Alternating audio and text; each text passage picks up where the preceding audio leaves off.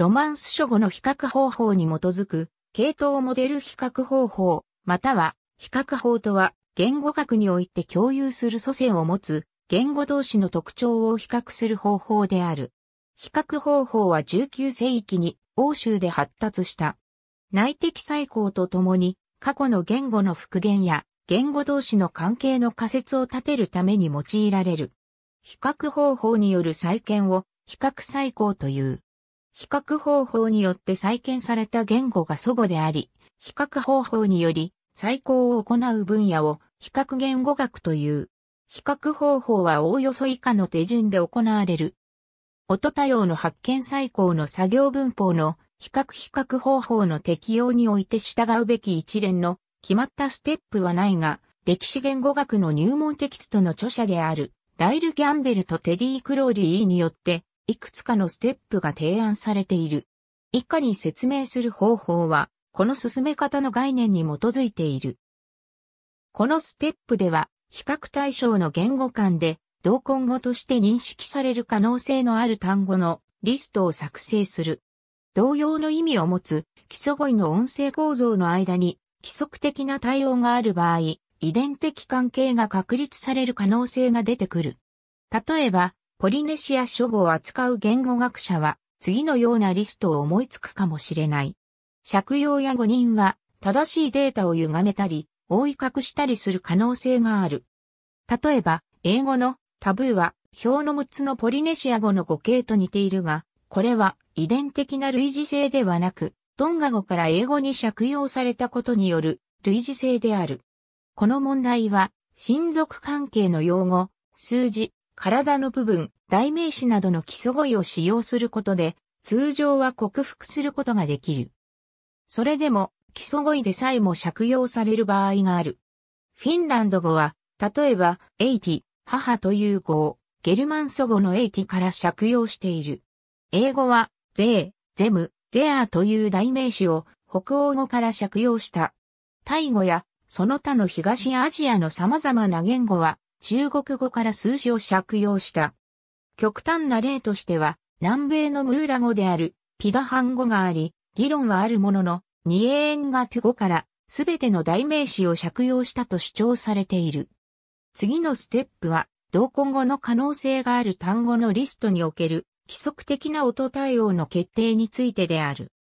例えば、上記のポリネシア書語のデータでは、リスト対象のほとんどの言語で t を含む単語がハワイ語で k を同じ位置に持つ語と同根語であることが明らかである。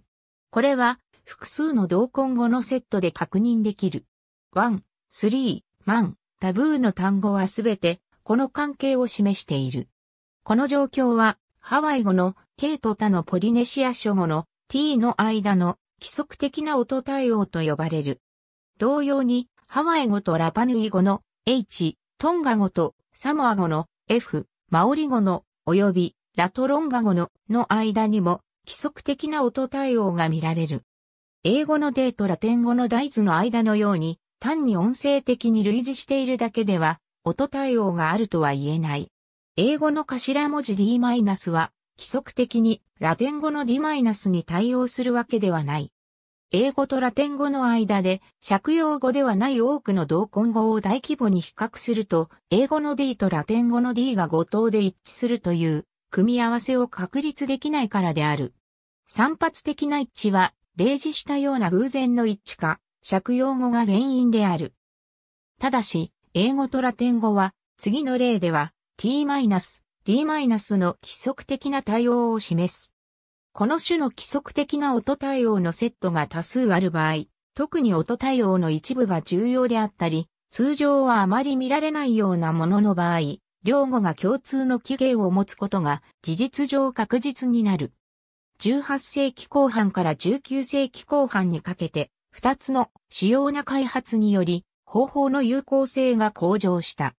まず、多くの音変化が特定の環境によって条件付けられていることが分かった。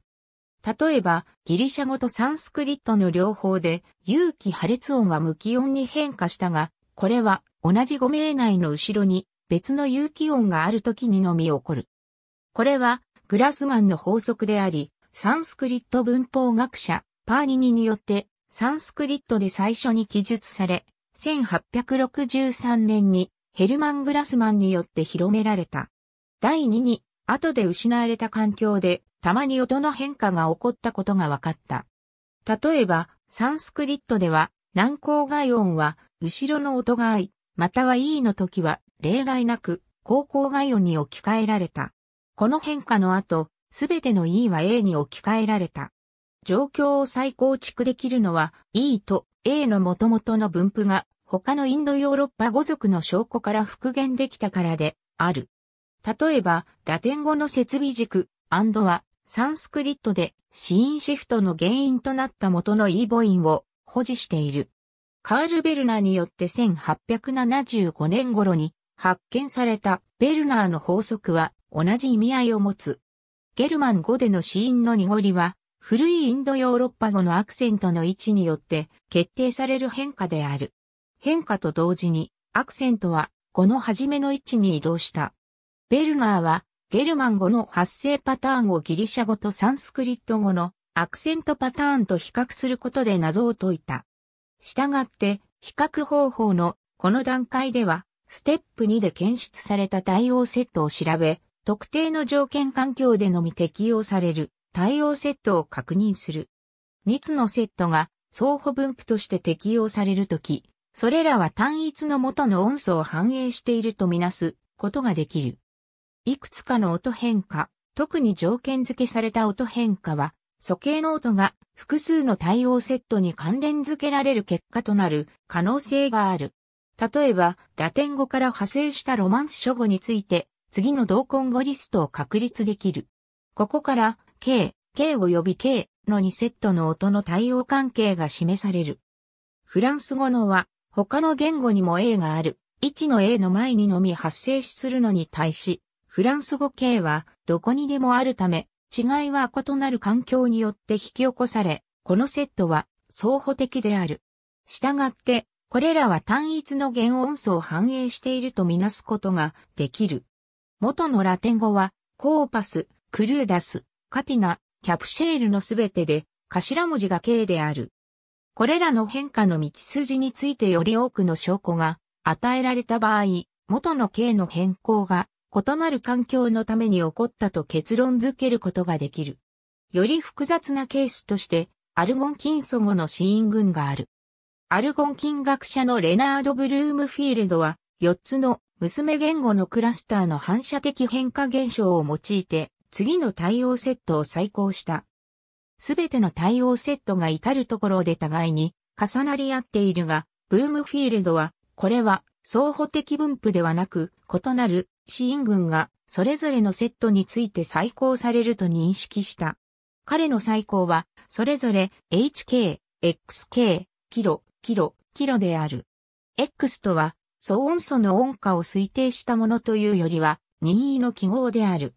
類型論は、どの最高がデータに最適化を判断するのに役立つ。例えば、母音間において、無声破裂音の有音化は一般的であるが、有声破裂音の無声化は稀である。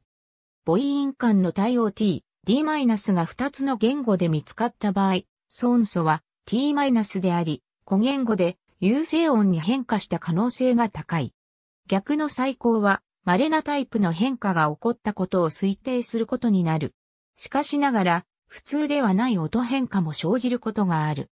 インドヨーロッパ祖語の2にあたる語は、例えば DW のように再考されるが、これは古典アルメニア語におけるアークに対応する。アルメニア語では他のいくつかの同根語は DW、アークマイナスという規則的な音変化を示す。同様に、アサバスカ諸語のスレービー語のビレイク方言では、アサバスカソゴ TS ビレイク方言系という変化が起こっている。DW- がアーク-に変化したり、TS が K に変化したりするのは起こりにくい変化であるが、おそらく現在の状態に至るまでの間にいくつかの中間段階を経ている。比較方法において重要なのは音声的類似ではなく規則的な音対応なのである。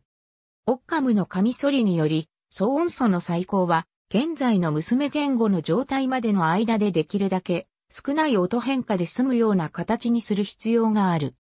例えば、アルゴン禁書語においては、次のような対応セットを示す。これについて、最小の音変化で済む最高の候補は M、または B である。MB の変化も BM の変化もよく起こるものである。M は5つの言語で見られ、B は1つの言語でしか見られない。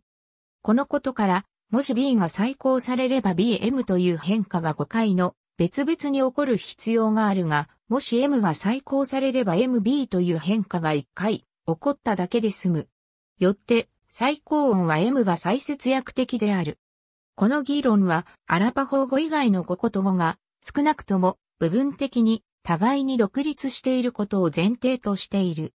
逆に、もし、これらの語こと語がすべて共通の解グループに属す場合には、BM の変化もたった1回だけで済むことになる。最後のステップとして、再考された騒音素が基地の類型的制約に適合するかをチェックする。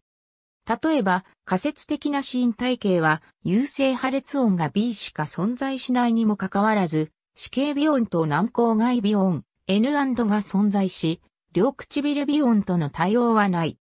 しかし、言語は通常は音素体系において対称性を維持する。この場合、前に B と再考したものが実際には M であるか N 及びである可能性を調査する必要があるかもしれない。ただ、この対照的な体系でさえ、類型論的に疑わしい場合がある。例えば、次の表は、従来のインドヨーロッパ祖語の破裂音である。以前再考されていた無声有機音系列は証拠が不十分であるという理由で削除された。20世紀半ば以降、多くの言語学者は、この音韻論は信じがたいとし、対応する無声有機音系列なしに有性有機音系列を持つ体系は非常にあり得にくいと主張してきた。タマズブイ・ゲンクラリゼート・ビャチェスラフ・イバーノフは、この問題を解決する可能性がある方法を提示し、伝統的に有性音として再考されてきた他系列は、正門音として再考されるべきと主張した。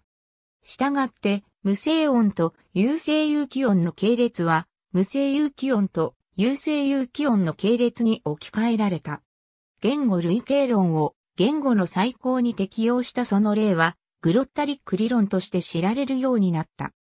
原音の最高は、文法的な形態素、曲用、活用など、パターンなどの最高に、論理的に先行するものである。記録がない祖母の完全な最高は、終わりのない道のりである。ありがとうございます。